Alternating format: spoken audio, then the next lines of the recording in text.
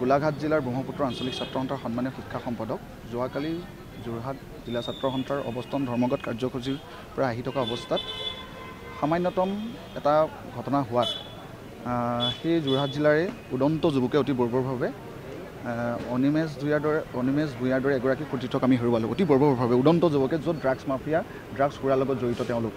আৰু ইতিমধ্যে আমি গম পাইছোঁ অসম চৰকাৰৰ গৃহ বিভাগে জিলা প্ৰশাসনে দোষীক কৰায়ত্ব কৰিছে। কৰায়ত্ব কৰিলেই নহ'ব। আইনী সুৰঙাৰে যাতে কোনো কাৰণতে বাচি নাযায় দোষীক কঠোৰতকৈ কঠোৰতম শাস্তি দিবলৈ দাবী জনাইছোঁ। আৰু লগতে ফাৰ্ষ্ট ষ্টেট আদালতত বিচাৰ হ'ব লাগে। বিচাৰ হৈ ফাঁচীৰ দাবী জনাইছোঁ ছাত্ৰ সন্থাই। সমগ্ৰ অসমত ছাত্ৰ সন্থাৰ কৰ্মীৰ ওপৰত কোনো এজনে যাতে যাতে ৰাজহুৱাভাৱে কোনোজনে যাতে হাত নুঠায় তাৰ কাৰণে আমি ছাত্ৰ সন্থাই আহ্বান জনাইছোঁ। আৰু এতিয়া ৰাইজ সজাগ হ'বলৈ গ'ল। ছাত্ৰ সন্থাৰ কৰ্মীৰ ওপৰত আক্ৰমণ কৰি আকৌ নিহত কৰিছে। এইটো আটাইতকৈ দুৰ্ভাগ্যজনক এটা বিষয়। আজি সমগ্ৰ অসমত আজি প্ৰতিবাদৰ জোৱাৰ উঠিছে। আৰু তেনেস্থলত অনিমেষ ভূঞা ডগৰে এগৰাকী ইমান ফুলকুমলীয়া এটা ছাত্ৰ য'ত ছাত্ৰ সন্থাক নেতৃত্ব দিছিল। গোলাঘাট জিলাৰ নিচিনা চহৰত আৰু আঞ্চলিক ছাত্ৰ সন্থাক শিক্ষা সম্পাদকৰ নিচিনা এটা গুৰুত্বপূৰ্ণ দায়িত্ব গ্ৰহণ কৰিছিলে। এনে এগৰাকী ছাত্ৰক অতি বৰ্বৰভাৱে মৰিয়াই মৰিয়াই হত্যা কৰিছে।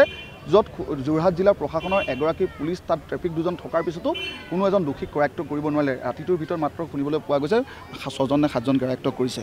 কিন্তু ছজন সাতজনে পঞ্চাছজন উদন্ত যুৱকে মৰিয়াই মৰিয়াই হত্যা কৰিছে লগতে দুজন এজন সংবাদকৰ্মী আৰু এজন ছাত্ৰ সন্থাৰ বিষয়ববীয়া আমি দাবী জনাইছোঁ ছাত্ৰ সন্থাই অতি শীঘ্ৰে পঞ্চাছজনতকৈ যিসকলে ব্যক্তি এই ঘটনাৰ লগত জড়িত আছিল এই দোষীসকলক কৰায়ত্ব কৰি কঠোৰতৰ কঠোৰতম শাস্তি দিবলৈ ছাত্ৰ সন্থাই দাবী জনাইছোঁ। আৰু অনিমেষ ভূঞাৰ পৰিয়ালবৰ্গলৈ মাতৃগৰাকীলৈ পিতৃগৰাকীলৈ আমি গভীৰ সমবেদনা জ্ঞাপন কৰাৰ লগতে আকু আৰোগ্য কামনাইছোঁ দুয়োগৰাকী ছাত্ৰ আৰু সংবাদকৰ্মীলৈ।